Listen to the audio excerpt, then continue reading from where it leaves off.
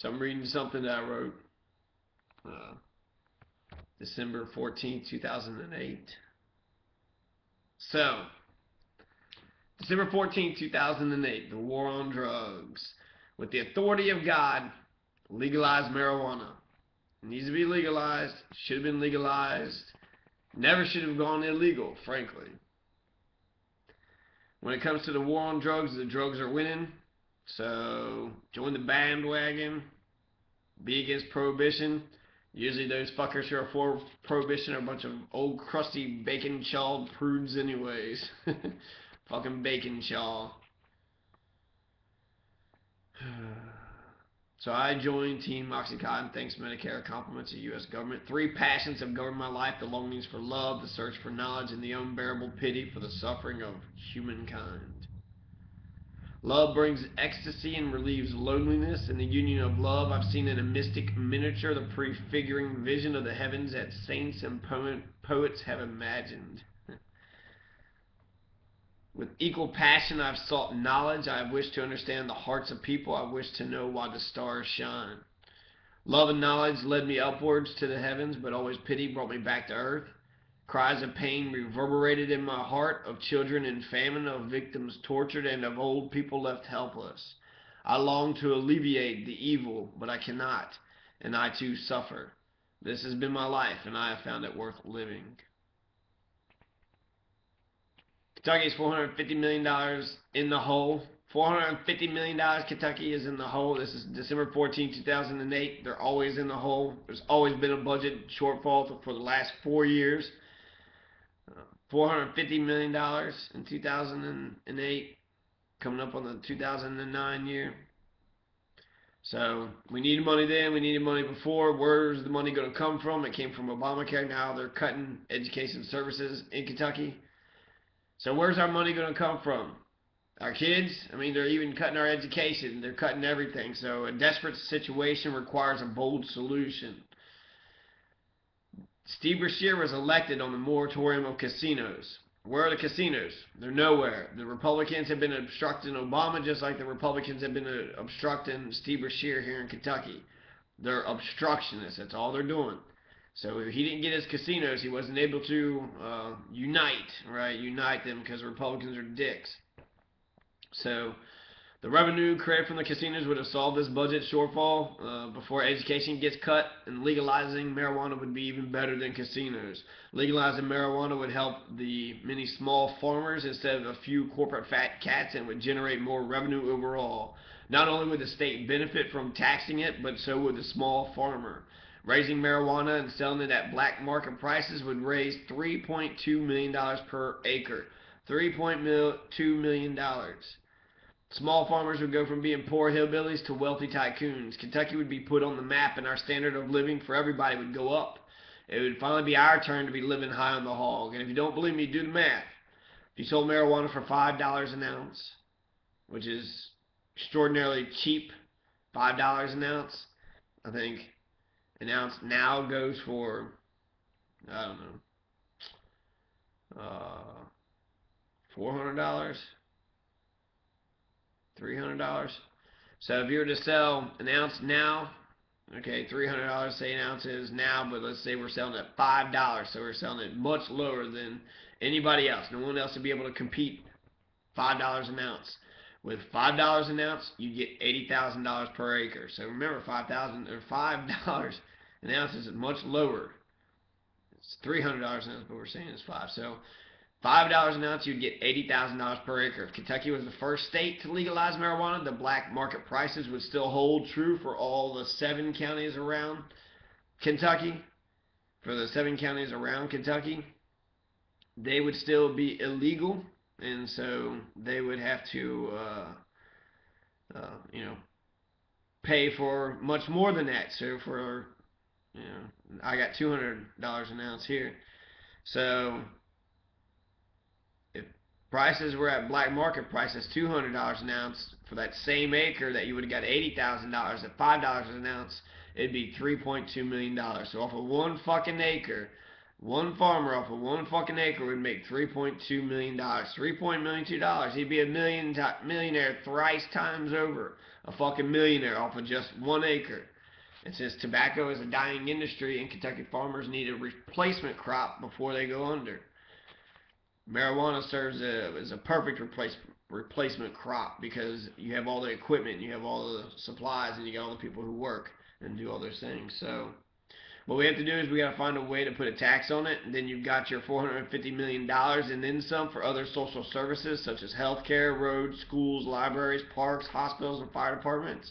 The legalization of marijuana would bring Kentucky billions of dollars, billions with a B. Considering we're the sixth poorest state in the nation, I bet many of us would be humble about the billions of dollars. In fact, I bet most of us would probably just be sitting pretty with just millions. So let's not forget that we Americans are guaranteed the right to our own bodies among many other supposed rights. We should have a right to our own bodies. Legalize marijuana. Legalize marijuana. Stop the war on drugs. Quit throwing potheads and smokers in jail. Especially when there's rapers, murderers, corporate criminals, and politicians are way more deserving of a jail cell. People that actually have crimes that actually have victims. Al Capone Al Capone was created because of prohibition. That's what we're doing now. We're creating more Al Capones. We've tried prohibition in the 1930s. You remember your histories? 1930s, we've tried prohibition. It didn't work the first time, and it isn't working this time. Legalizing marijuana would put Joe Crackhead out of business. Joe drug dealer, right? Joe, Joe Crackhead drug dealer. Legalizing marijuana would be less crime on the streets. Ronnie Lee Smith is right. Near Gallatin County, nearly 50 folks were busted with trafficking. And have you ever seen the movie Traffic? Traffic was uh, directed by a Kentuckian, and it accurately portrays our current uh, war on drugs today. So after 50 folks were busted with trafficking, what do you think happened to the black market? What do you think to the, the prices of the drugs. You didn't get rid of the drugs. You threw a lot of people in jail and you made their lives miserable. But did you get rid of the problem? Is the problem still there? It's always been there. It's been there for the last hundred years and it's going to continue to be there. All you're doing is attacking the supply side. All you're doing is just trying to stop the actual substance from existence existing, which you can't do that. So since you can't do that, you have to go after the demand, educate people, give plenty of opportunities so people aren't uh, looking for different, you know, substances to be able to sustain their miserable lives. So the price goes up. That's the whole point. That's why the war on drugs is failing. You're actually creating a profit incentive for people to go out and make money. In Appalachia, they are talking about uh, how there's no jobs in Appalachia, and I've heard Appalachians tell me that they have to sell drugs. What else can you do? You have to sell drugs when there's no jobs around and there's nothing else to do. Either become part a coal miner, and if you can't get a job in the coal mines, then you gotta sell drugs. There's nothing going on in Appalachia. So the profit incentive is making it uh, the bad economy and the profit incentive combined is keeping the um, the drugs uh, on the winning side. The police have been losing the war on drugs. So there's a drug sweep in the middle of Gallatin County. Um, so since the cops are everywhere, uh, that means that you have to raise the prices on your goods because there's more of a risk. Higher risk means higher reward. So. So since the police are enforcing the war on drugs, drug crackhead, the the local militia, the local mafia, the local organized crime are much more powerful and rich. Because there's a war on drugs, the drug dealers are doing good. There's drug tellers in Mexico because there's a war on drugs. I trust something I can see out in the open sunshine much better than something that is hiding in the shadows. I like transparency. I'd rather take the drugs out from the dark underworld and put it out in the open in the stores, in the red light district, in the Smutville where the uh, the uh, you know pornography and where the liquor and all the other debauchery things uh, a free society allows. So and to make it where you can claim it on your taxes. But so-called goody-goodies don't understand what they're doing. Prohibition didn't work the fir first time. Surely Puritans thought they were doing some good, but instead crime increased. Al Capone was created. During the 1930s, Al Capone was created. It cost taxpayer money for the state drug agents and for the overcrowded private prisons. Kentucky's number one for the fastest growing prisons. And while doing nothing to avert, divert, or deter crime, it's done the opposite. It's created crime by increasing the profit incentive. When are we citizens when we citizens declare something to be illegal, anything, what happens to the price of that good? It skyrockets.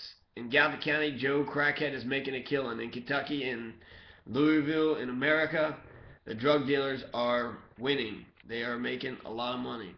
So therein lies the rub. A truly free market would allow the legalization of drugs, all drugs, and good people would recognize the benefits. For poor people, for sick people, for free people the war on drugs, just say no. I remember going through the DARE program, and I think it's time that we need to start uh, daring to be free. We need to dare to be free, dare to be a man, dare to stand up for our own selves, our own dignity, our own self worth, and for our own bodies. It's our bodies. It's not yours, government. It's our body. So, you know, government's losing the supposed war. It's not surprising. Drugs are winning. Considering we have privacy rights, you have, a, have to have a search warrant to enter my home. How can a substance not exist in the land of freedom and plenty? Or more important, why shouldn't it? Prominent lawyer in Kentucky declared smoking marijuana in the privacy of your own home is legal today, as the law stands on the books today. It's in his book, Gatewood Galbraith's Last Free Man in America. Mr. Galbraith details the legality of marijuana in your own home. 77 of Kentucky's 120 counties are dry, meaning no alcohol, but the police aren't busting down the doors of private citizens that have beer in their fridge, and by the same standard, it shouldn't apply to college potheads. They got a war on drugs, so the police cannot bother me. They got a war in the Middle East, there's a war in the streets, but they won't declare war on poverty, but they got a war on drugs so the police can bother me. Tupac. So this is a solution for all the poor, small farmers losing their property. Small family farms are going out at an accelerated rate. This problem is desperate. We need a bold solution. Being against the legalization of marijuana is stupid. Only a nitwit would be against it. Change.org is the number one issue in this country. In fact, by being for the criminalization of marijuana, you're keeping food out of poor people's mouths, you're having less education for our kids, and you support the buildup of a militarized police state. Many studies have done to find a cure for AIDS and cancer. Marijuana has proven to stall cancer, cure it in some cases. And are you telling me that you wouldn't allow my grandmother to live just because marijuana is illegal? And when I save her life, then you'd throw her in jail because she took hemp uh, oil? Or will you throw her in jail before her health doesn't ail no more? And why do you think throwing someone in jail would even help them? Those folks who believe that they're good are sadly mistaken. They're not helping, and their mistake is murdering thousands of innocent victims at a rate faster uh, than the Holocaust. Why? As what concerns the public health, that's to be addressed. Proceeds should be required to have an educational outreach in communities all across Kentucky to allow folks to know the dangers and to have a designated smut block for marijuana stores, liquor shops, and strip joints put in a corner off the main street away from the schools. Um, I guess the war on drugs gives the police something to do, but I know many police officers that either know people who are into drugs or they used to be users themselves. So how hypocritical for these fucking assholes to take an anti-drug stance while they're doing the drugs. So fuck those hypocrites and their self-righteous pursed up, sour faced. If you smoke marijuana and you're enforcing the war on drugs, fuck you, you fucking prick. If you're gonna admit to everybody you've been around folks who smoked marijuana, why would you enforce the law on other occasions? What a fucking hypocrite. Many people don't like the police, and it's because they use violence on non-violent offenders. They create the problems, they start the trouble. And they weren't enforcing antiquated, ineffective drug laws, then I could respect them. But until they admit their hypocrisy and their ignorance and their fucking douchebaggery, I won't. Respect is earned, not forced. Serve and protect me, not the petrochemical, pharmaceutical, military, industrial, transnational, corporate, fascist sons of bitches. If you're for criminalizing marijuana, not only are you stupid economically, a bad businessman and a woman, but you're also anti-American. When did we citizens lose our own right to our own bodies? If I want to repeatedly hit myself in the face who is the government to tell me not to? If I'm going to throw myself down a flight of stairs, who's the government to tell me I'm not allowed to injure myself? I'm allowed to injure myself. You can't tell me what to fucking do. Kentucky's $450 million in the red, 2008, always in the red. How much do we, the citizens, pay Frankfort? what the fuck are the 138 representatives doing? We'd save a shitload of money just by firing all them fucking bastards. Uh, we should not reelect any of these assholes. We should throw out all the incumbents, throw all the fucking bums out. Um, and let's not forget, marijuana is just a fucking plant. It's a weed. It grows wild. It's God's creation. It's nature. And who are we as humble citizens, humble human beings, going to question the authority of God? God's nature, Mother Nature. Who are we to question the authority of God?